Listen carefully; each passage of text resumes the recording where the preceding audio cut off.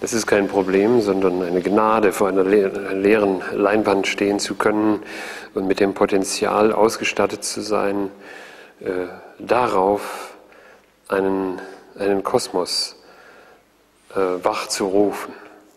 Man kann ruhig analog an, an den Granitblock äh, Michelangelos denken. Es ist äh, eine ganz vergleichbare Situation. Die weiße Leinwand äh, ist dann eben der Granitblock. Darin hockt dann schon die Figur. Darin äh, zeichnen sich schon mit äh, halb geschlossenen Lidern betrachtet äh, die Szenerien ab. Sie müssen freigescharrt werden und, und dann äh, zeigt sich, äh, was an Neueinbringungen noch erforderlich ist, um dem schon Vorhandenen dann die letzte Legitimation zu verleihen, mit all den eben schon erwähnten äh, Risiken und Irrwegen, die dann noch zu, zu meistern sind. Sonderbare Szenen in einer Landschaft bei Leipzig. Und gerne erführe man, welcher unsichtbaren Gefahr die Männer des Katastrophenschutzes in friedlicher Gegend trotzen. Und wie kommt Saint-Just, der schöne Todesbote der französischen Revolution, ins Bild nach Leipzig? Ist es Laune oder Malersehnsucht, wenn dort siamesische Zwillinge wie Engel schweben? Und wer mag diese Schönen beschwören, gemalt in den Farben der Trikolore. Naja, fast.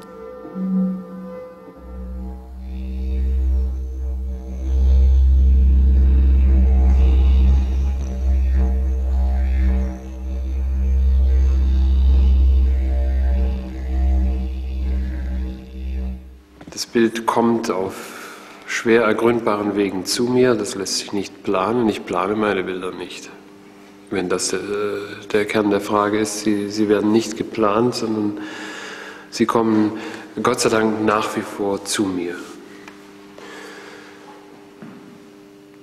In Form von Ahnungen etwa, von äh, beiläufigen Begegnungen auf dem Atelierfußboden etwa. Da gibt es Farbkrustationen, die äh, dadurch bedingt sind, dass ich meine Farben auf dem Fußboden anmische. Da entstehen Bilder, lächeln mich von unten her an und sagen, mal mich jetzt endlich. Du hast mich äh, hier an dieser Stelle wachgerufen. Jetzt will ich ganz groß werden. Dreimal vier Meter, bitte.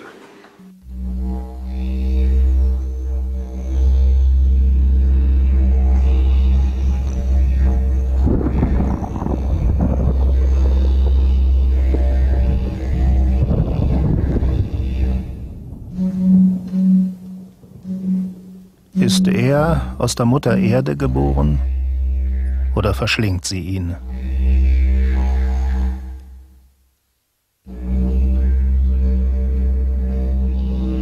Neo Rauch ist ein grausamer Geburtshelfer.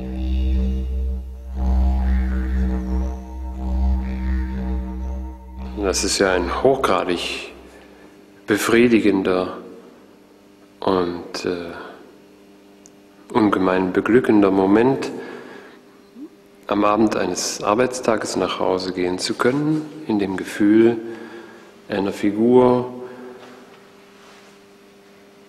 äh, einer bestimmten, einer sehr bestimmten Gestalt auf diese Welt äh, verholfen zu haben.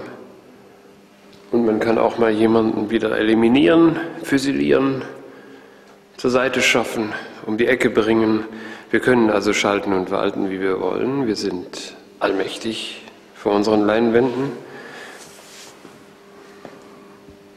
Wo können wir das sonst? Und das ist doch eine ungeheure Versuchung. Mit ungeheurer Versuchung meint Rauch auch jene Wahnvorstellung der Moderne, die Politiker und Künstler oft halten, die Erschaffung eines gut funktionierenden neuen Menschen. Hey Mensch, wo haben wir den denn? Ist das der da rechts vielleicht? Ich weiß nicht. Ich, er soll mir gestohlen bleiben, der neue Mensch. Mir ist der Alte kompliziert und lieb genug. Und es wird immer der Alte bleiben.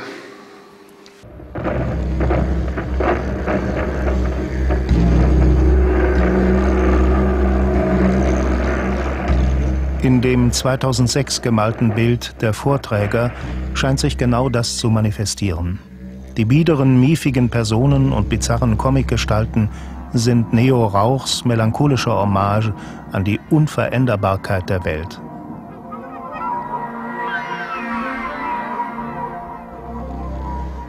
Ein Abgesang auf das uneingelöste Versprechen von Freiheit und Menschenglück.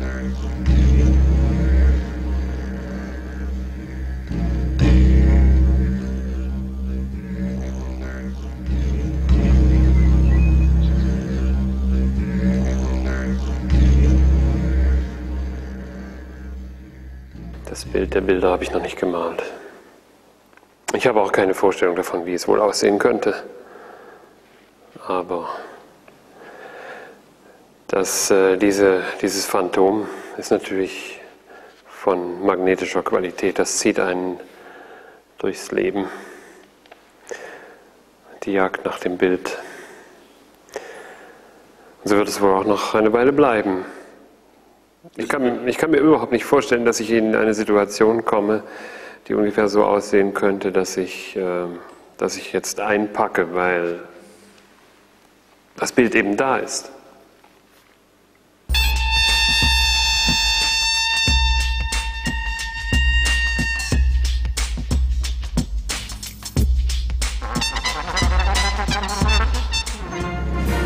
Die Jakobinermütze, heiliges Symbol der Revolution, aufgespießt von biersaufenden Burschenschaftlern. Malerei wird hier zum Aktionstheater, in dem Verschiedenes gleichzeitig passiert. Eine Mutter erklärt ihrem Sohn an Modellen die Schrecken der Welt. Vielleicht, weil der früh üben muss, der ein guter Folterknecht werden soll. In dem Bild Neue Rollen scheint Neo Rauch absichtsvoll gegen revolutionäre Glücksversprechen aller Art angemalt zu haben. Sozusagen ein Hoch auf den Konservatismus. Für mich ist der Begriff des Konservatismus außerhalb jeder äh, politischen Kategorisierung etwas äh, vollkommen Wertfreies oder etwas sehr Wertvolles. Vielleicht besser so. Es ist nämlich eben die Art von Selbstverortung in der Welt, die nicht auskommt ohne den Rückgriff auf das ewig Gültige. Das schließt äh, den wohl abgewogenen Zustrom und die, die, die Aufnahme von Neuem überhaupt nicht aus. Aber es geht nicht ohne den Rückgriff auf den gesicherten Bestand. Denn den zu attackieren, ist äh, künstlerischer und letzten Endes auch politischer Selbstmord.